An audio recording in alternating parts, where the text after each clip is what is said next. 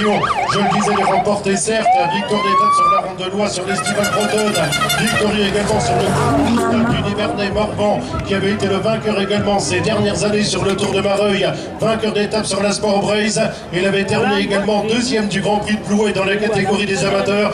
Celui qui avait brillé également sur le plan international, que ce soit notamment sur le Tour du Maroc où il avait terminé quatrième du classement général. Apparemment la victoire qui se dessine à ceci près que nous sommes également avec les autres coureurs en embuscade avec les franciliens. Quant à eux donc en deuxième et troisième position, on va l'accueillir avec les honneurs dus à son rang. Mesdames, Messieurs, les mains qui vont se lever, s'il vous plaît, avec celui qui va signer la quatrième victoire de la saison de 2019.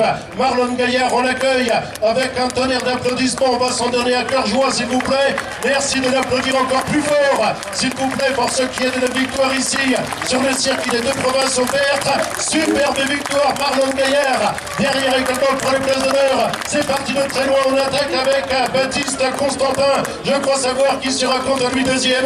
Troisième, Loubaré. Ensuite, les autres coureurs de la formation de Torigny qui étaient quant à eux également pour les places d'honneur. Félicitations à l'ensemble des coureurs. C'était le cas également avec Dominique Leclèche, tout comme également avec les représentants du team Briquebec-Contentin, puisque Dame Wilda qui en termine à l'instant le champion de Grèce également, à savoir que nous sommes